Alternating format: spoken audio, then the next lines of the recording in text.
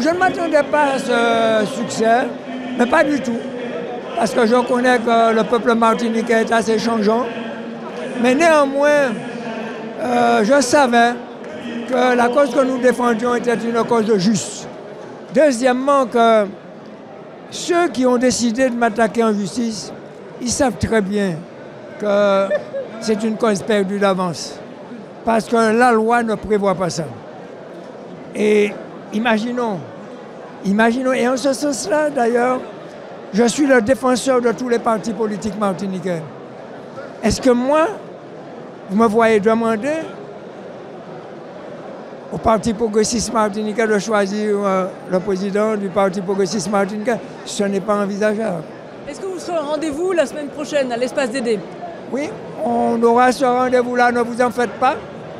Mais je ne vous dévoile pas et nous n'allons pas changer notre fusil d'épaule.